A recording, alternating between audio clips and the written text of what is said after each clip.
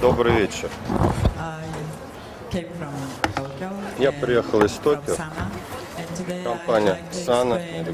And Сегодня поговорю uh, о проектах, my partner в бюро is Ну, я не единственный человек, Uh, который работает в этом бюро. Еще у меня есть партнер. У нас не один проект. Вот. Сегодня поговорю о шести таких проектах. uh. Э, Есть в Токио проекты, вот, там, собственно, и офис Сана расположен в Токио. Ну, есть у меня и личное бюро. uh, Некоторые из проектов, которые together. будут здесь представлены, сделаны в САНА, некоторые в партнерстве со своими I а некоторые проекты в коллеге я сделала uh, сама. Хорошо ли слышно? Хорошо. Не знаю, как пользоваться микрофоном, поэтому может быть, звук будет пропадать. That we like to make a kind of environment, which means uh, for us, for example, to design the small chair. особую It's also среду. possible to make Вот, даже a если smaller environment around Кресло проектируешь, то ты when создаешь we какую-то design the среду. building, А когда мы and of course делаем the building здание, contained some interior Безусловно, environment, в but at the same здании time есть around the некая внутренняя среда, но uh, вокруг здания мы также пытаемся создавать uh, особую среду, uh, Некую среду, вот, которая будет уникальной, которая позволяет соединять это здание с какой-то более широкой средой, то есть это какой-то квартал или город в целом, или какое-то природное окружение. И для этого мы считаем, что очень важно как следует э, прорабатывать соответствующую программу на самом начале проектирования, на самом начале про- этапа, на первых этапах процесса дизайна мы задумываемся об этом, для того, чтобы найти вот такую возможность вписывания нашей среды в общей среды. Соответственно, мы проектируем и таким образом и внутренние помещения так, чтобы все это соединялось и жило вместе. Я надеюсь, что мое объяснение сегодня поможет вам. Вот, попытаюсь продемонстрировать, как нам это делается. И так начнем.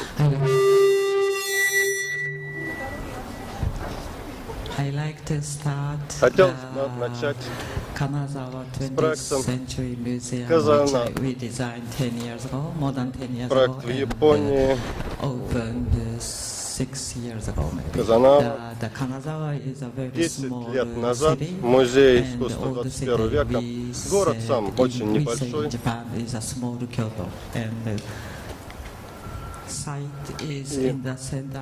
И-. Э, Площадка расположена в центре города. This is a museum, and Вот next как to the выглядит museum музей. there the city hall, Рядом and there the state здание hall, муниципалитета, местный парламент. traditional garden, Japanese Ну и очень известный вот сад, традиционный So, uh, японский садик, ну плюс какое-то. try to коммерческие здания. Ну и что мы пытались сделать в этом проекте. Ну, как можно больше дверей, uh, входов в это помещение. Ну, как бы сделать все это привлекательно, чтобы люди сами приходили в это здание.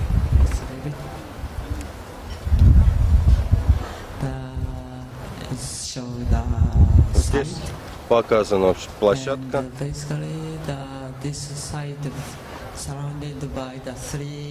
Там вокруг три дороги общественные. uh, Ну, то есть можно представить себе, что люди могут ходить в этот музей самых разных направлений. И посещать этот музей. Этот угол а, ниже расположен, чем а, другие помещения.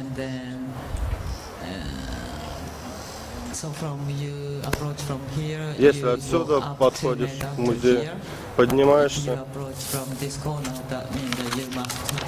если с этого uh, подходишь туда,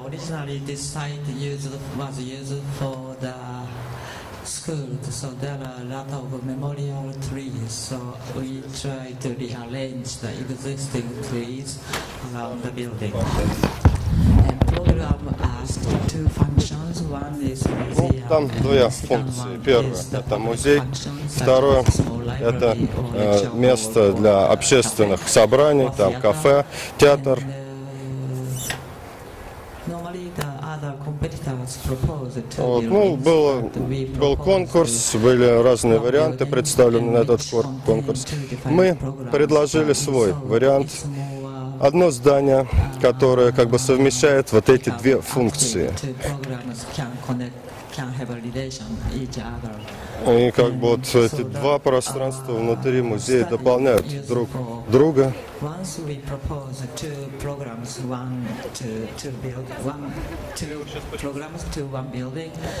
Две программы как бы реализованы внутри одного э, здания. Ну вот, и это здание совмещает эти две функции. Центр – это музей, а периметр этого здания предназначен для общественных мероприятий. Вот так выглядит план. Галереи этого музея находятся в центре. Здесь э, кафе, здесь галереи, здесь театр. В центре вот галереи, они как бы открыты, они объединены с общественной зоной.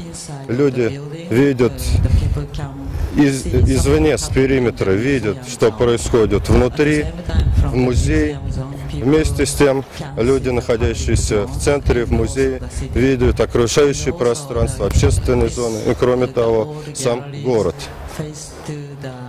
Public zone, so that means sometimes the curator make very big, big, big exhibition using Вот, ну, в музее э, иногда организуются очень крупные выставки. Соответственным образом центральная зона объединяется. Иногда центральную зону разбивают на две зоны. Вот эта центральная зона у нас, да. become Она становится, делается из нее две зоны, иногда три зоны. Иногда а, галереи используются независимо, вот эти различные зоны. Вот. Но так как они имеют выход в общественную зону, люди имеют возможность просто войти внутрь музея, в галерею. Вот. Ну, как будто эта галерея расположена где-то в городе.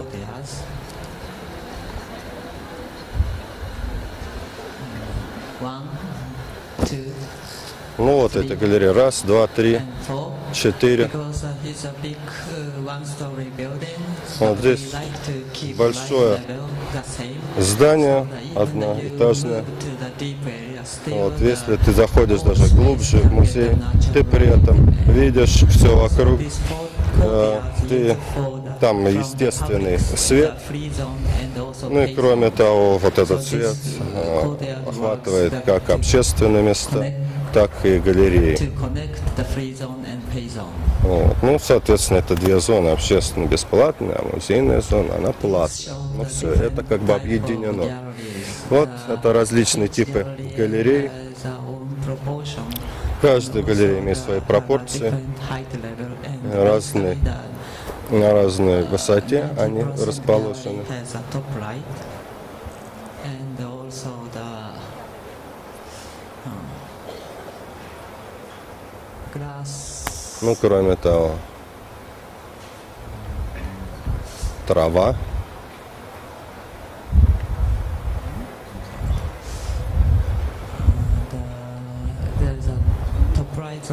Вот это справа сверху вот, э, зона с стеклянным потолком. Ну, соответственно, лето очень все это замечательно выглядит. Ну, ты как бы чувствуешь характер света.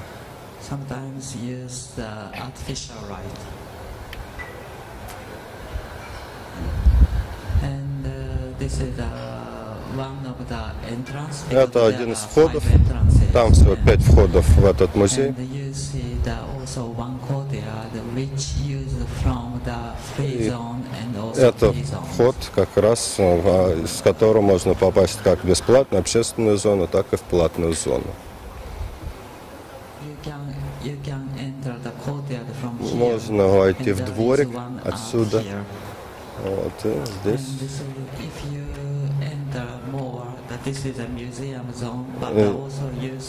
Ну, вот это внутри мы видим, это музейная зона. Здесь некоторые из галерей иногда закрыты, иногда они открыты. Если закрыты, это значит, что когда она закрывается, галерея, платная зона, то ее открывают для публики, становится бесплатной общественной зоной. Вот так вот а, можно свободно менять внутреннее пространство в это музей. Это одна галерея была, это другая галерея. Здесь у нас наполовину прозрачное стекло. Иногда видно голубое небо. Иногда, вот скажем, вот такие мероприятия проводятся. Это музей современного искусства, ну в данном случае там музыкальное какое-то представление. И каждый из галерей использует свою музыку, и люди могут из одной галереи в другую переходить, и там будет другое звуковое оформление. Это еще дворик, опять же. Это там, где работают художники. И из свободной зоны, бесплатной зоны. Вот, вы видите, как это выглядит. И, ну, постоянные изменения идут. В зависимости от погоды мы оформляем это по-другому. Это еще один дворик, это французский архитектор. Его создал. Ну, вот все время меняются условия. Вот это общественная зона. Это небольшой лекционный зал. Это небольшая библиотека. А это комната для детей.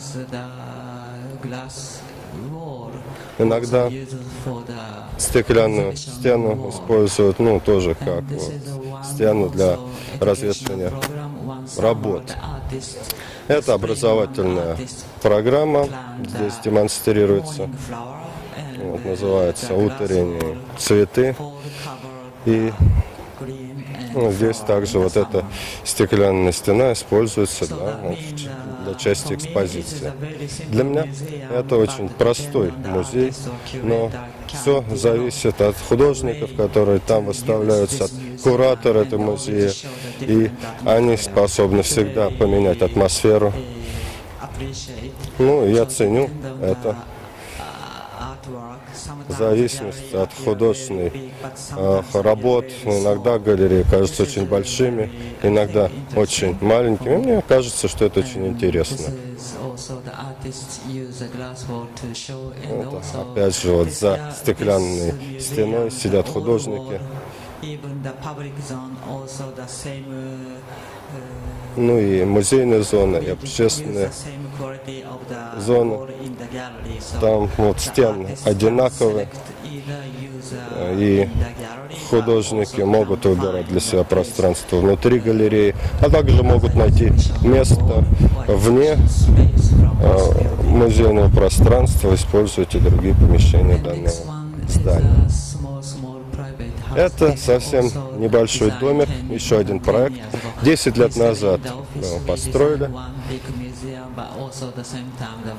Вот, одновременно мы работали по этим, по этим двум проектам. Вот тот большой музей, это небольшой дом в Токио, в округе Токио. Вот, вокруг мы видим замечательные деревья. И клиент хотел, конечно, сохранить по максимуму все вот, очень дорого и, соответственно, там немного места. Всего 75 квадратных метров здания. Совсем небольшой дом для пяти человек. И клиент, собственно, вот, хотел, чтобы было много комнат, но так как пространства было совсем мало, мы сказали, невозможно. Ну, давайте сделаем некие трехмерные там, комнаты. Я предложила следующее. Пусть этот дом небольшой, 75 квадратных метров, но мы там нашли место для 20 комнат. И каждая из этих комнат столь мала, что вот для стен мы использовали необычные материалы, 16 миллиметров, стальные листы для перегородок или стен.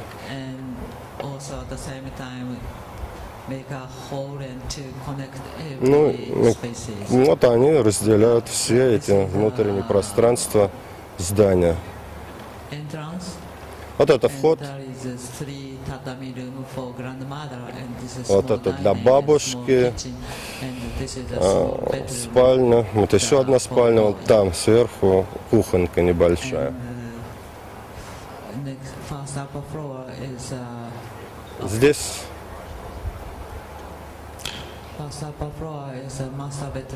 это большая спальня. Ну, шкафы для одежды, там небольшая библиотека, небольшой кабинет, для различных, кабинеты для различных членов семьи, еще одна спальня. Вот эта комната для чая, ванна, ну и внешняя терраса. Вот небольшой дом с очень небольшими комнатками. Вот это как выглядит спальня хозяина дома. То есть размер комнаты такой же, как размер э, кровати, но выше. А это кабинет, ванна. Все обставлено очень просто, без глубины. Стен, стены очень тонкие, да, если вот отверстие мы посмотрим, соединяющие две комнаты, э, там совсем, совсем нет глубины. Получается э, эффект фотографии от того, что происходит в соседней комнате. Вот это еще одна комната. Выглядит как как раз как фотография. Вот это столовая, столовая. Это еще одна комната. Это главная спальня. И опять же окошко мы здесь видим. Мы видим вот, вид снаружи через главную спальню. И видим там еще одно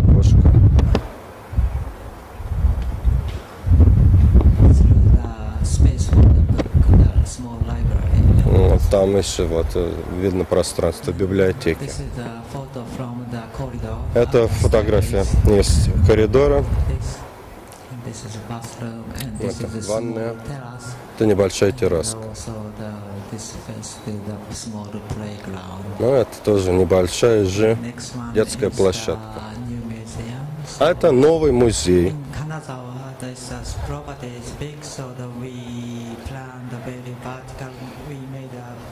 Здесь у нас задача была создать очень практический музей. Земля очень дорога, пространства мало, это Манхэттен, Нью-Йорк. Поэтому нам надо было так разместить музей, чтобы было много места там Но территорию занимал небольшой. Опять же, окон нету. Но мы боялись построить вот такую башню без окон. Поэтому мы предложили вот такую конструкцию, вот как бы вот разные этажи смещены относительно друг друга. Мы как бы открываем коробку и э, как бы объединяем музей с городом. Вот эта модель, которую мы использовали на этапе разработки проекта. Мы видим каждый из уровней, каждый из галерей смещена по отношению друг к другу.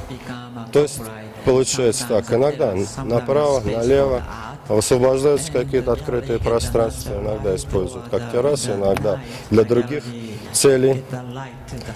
Вот. Ну и днем в галерею заливает свет, а ночью наоборот. Город видит окни этой галереи. Ну, и мы считаем, что это как бы вот взаимодействие галереи и города. И, собственно, посетители могут не только смотреть на художественные произведения внутри этой галереи, но выходить на террасу и смотреть вокруг на Манхэттен. Вот это один вид этого музея. Вот еще один.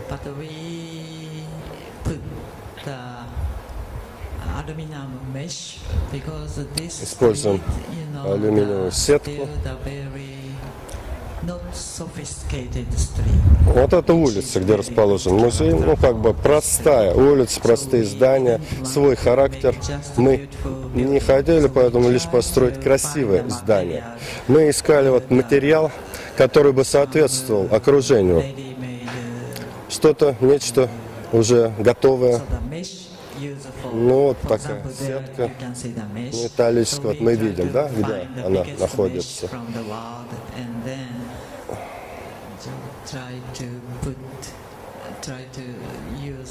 Ну, купили, нашли самую большую сетку на рынке, ну и разместили это на нашем здании.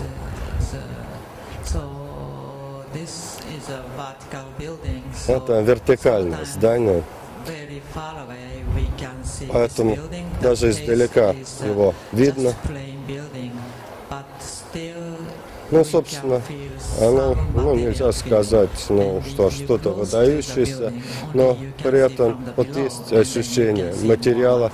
Вот, и когда ты подходишь ближе только к зданию, ты видишь вот различные материалы, и они дают нам различные э, ощущения в зависимости от погоды. Иногда становится очень белым, иногда какие-то темные, в темные э, цвета окрашиваются. В зависимости от того, как падает на них свет. Это при входе попадаешь в этот зал, там лестница, вот, можно спуститься вниз, в подвал, там аудитория, там небольшое кафе, небольшая галерея два лифта, поскольку это здание выходит только на одну дорогу.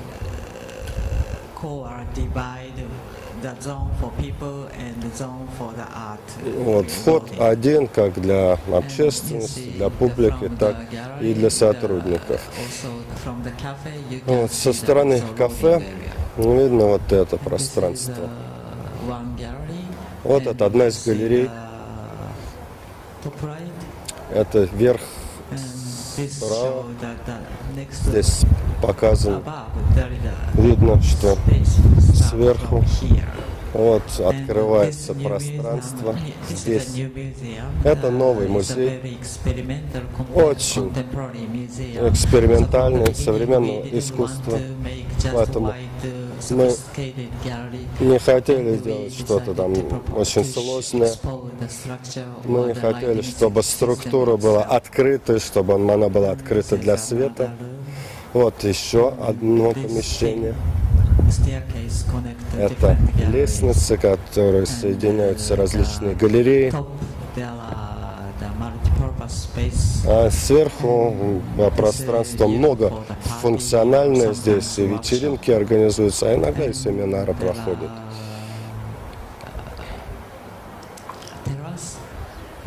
Это террасы мы здесь видим. Ну, здесь же вот видно, как, какой открывается на Манхэттен вид.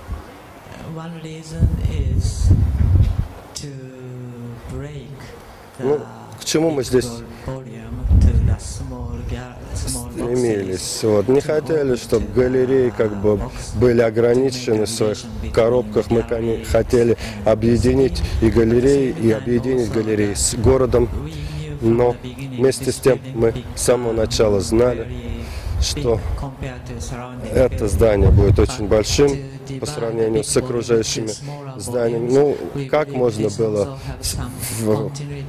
строить это здание да, таким образом, чтобы ну, не мешать, не нарушать окружающую обстановку? Ну, вот так мы это сделали. Следующее – это э, стеклянный павильон в Толедо. Толедо – это небольшой город в Америке, рядом с Детройтом, где-то 40 минут на машине.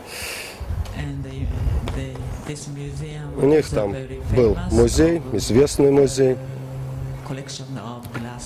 Это музей стеклянных вещей стекла. А, традиционно там размещалась компания, которая занималась стеклом. Вот. И они хотели создать музей, используя также и стеклянный павильон для размещения своей коллекции различных предметов из стекла. Выбрали место для музея. Очень красивые деревья. И, естественно, мы решили оставить эти деревья. Дальше там размещалась парковка. Ну, вот это место использовалось для постройки музея. Кроме того, ну, вокруг жилые дома, поэтому нельзя было строить высокое здание. Поэтому мы спланировали здание один этаж, плюс э, подсобное помещение, офис, который размещается под уровнем земли. Вот эта модель. Вот как выглядит этот павильон. На фоне деревьев мы строим этот стеклянный павильон, одноэтажное здание на фоне деревьев. Это процесс, который мы использовали в своей работе.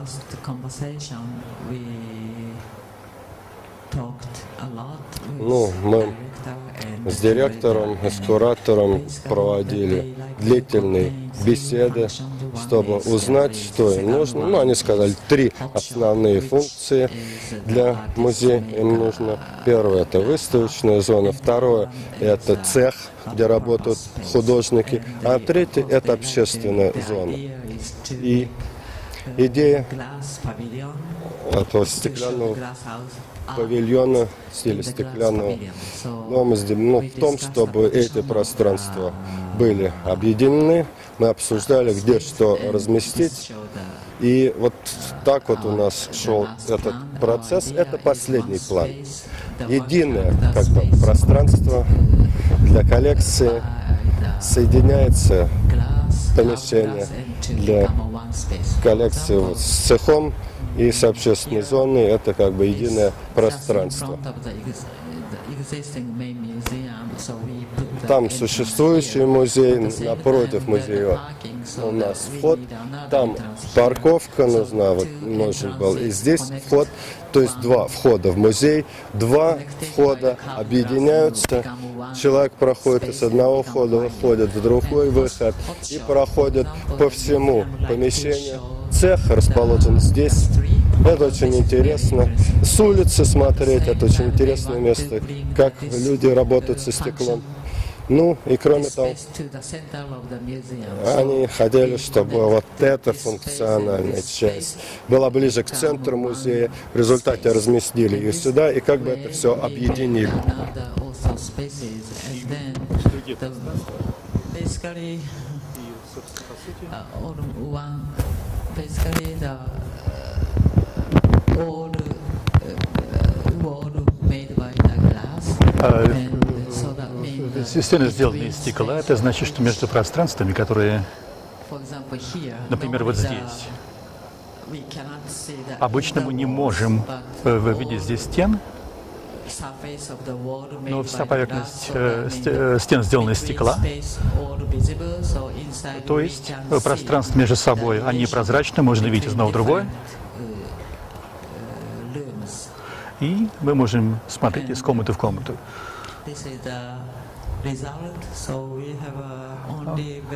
У нас есть очень прозрачные стекла в музее, но они многослойные. И в зависимости от условий или в зависимости от Солнца,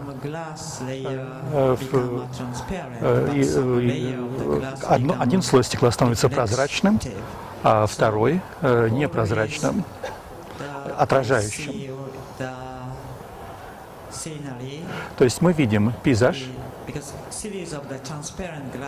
потому что э, в э, серия э, прозрачных стекол становится такими замутненными, а какая-то часть отражает то, что находится за мной, а вторая часть становится прозрачной, то есть отражает, показывает то, что есть перед вами.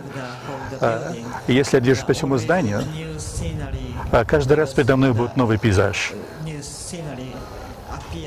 Э, этот пейзаж появляется передо мной. Особенно, если я смотрю прямо вперед, э, э, но при этом есть еще и стекла, находящиеся под углом. То есть, таким образом, перед вами получается смешанный ряд изображений. Э, вот это стеклянная мастерская. Вы видите э, зелень э, за зданием и перед зданием.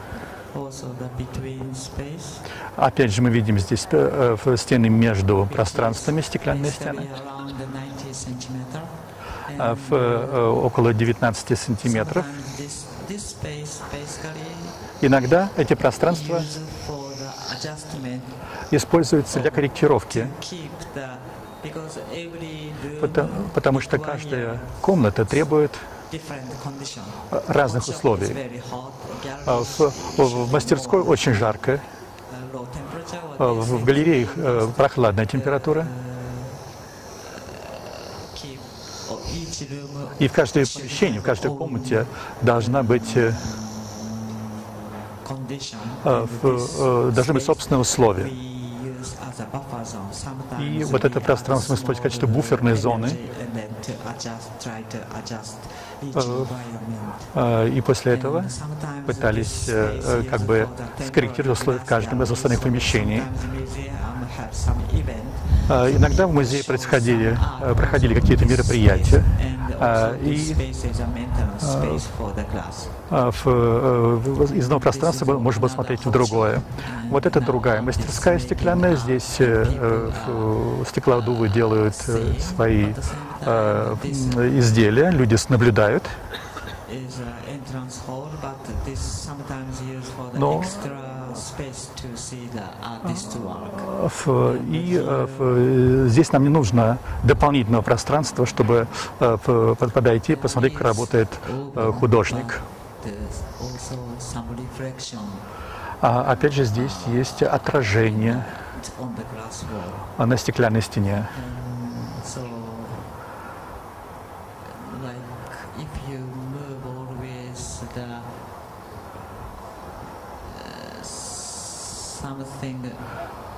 Вот это нечто на стекле, но вы можете также видеть э, и сквозь стекло.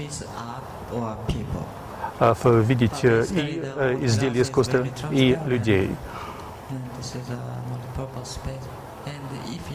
А, если снимать э, снимки, фотографии, то у вас всегда получится некая смесь. Следующий – это очень маленькая гимназия в сельской местности в горах в Японии. А, это тоже было результатом конкурса Это небольшое место, где живут э, люди. Я предложила э, не делать одного большого здания. Большого имеется в виду, э, что оно большое по сравнению с окружающими зданиями. Я предложила э, разделить его на три части. И, и э, попыталась э, э, создать внешний коридор между зданиями. А, э, один это зал, второй это лекционный зал и административное помещение. Потому что я сейчас сделал большое здание по сравнению с окружающими. Если, это, если бы это здание не использовалось, люди бы чувствовали, что э, э, это здание слишком далеко от их жизни. Но э, если люди могут проходить э, в, по нему, э, пусть даже иногда э, само, здание закрыто, но тем не менее люди могут проходить э, сквозь него, притрагиваться к нему. И я предложила Э, разделить его на, на три части э, и сделать большое количество дверей, чтобы не было одного большого входа. И люди всегда могут пройти по тропинке насквозь, могут войти и здесь, и там. То есть я попытался открыть как можно больше дверей.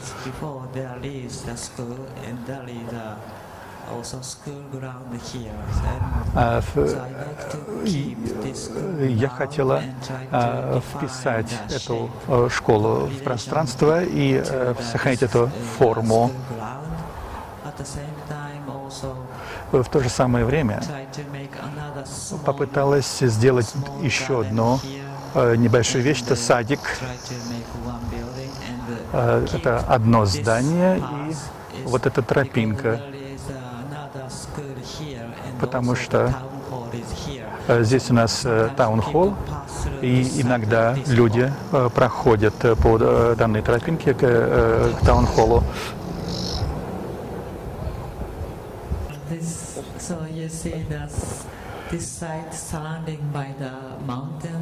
Вы видите здесь э, горы и небольшие здания прямо с горы спускаются. И это вот как бы центр небольшого городка. И я предложила э, вот построить это здание из трех частей.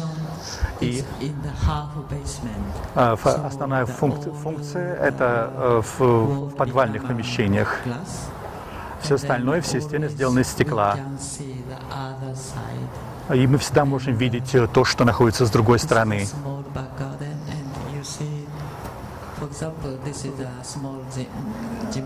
Вот это небольшой э, зал. Снаружи мы на него смотрим.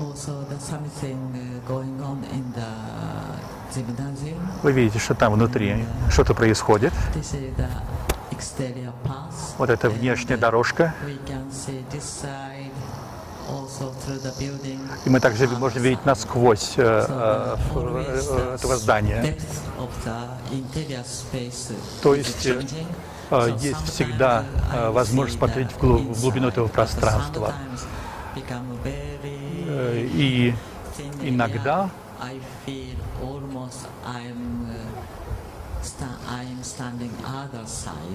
а в, э, когда я смотрю, мне кажется, что я стою с другой стороны здания.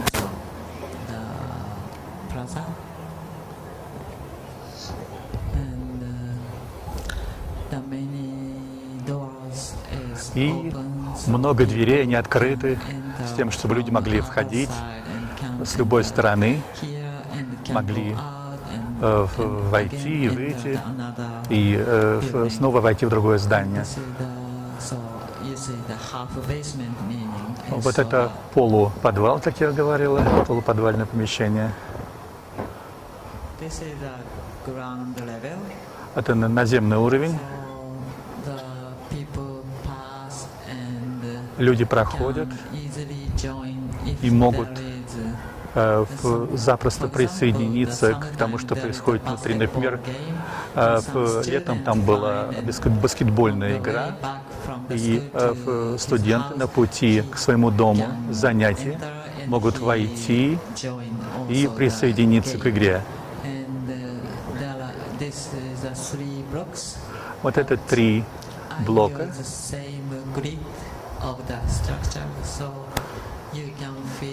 И вы можете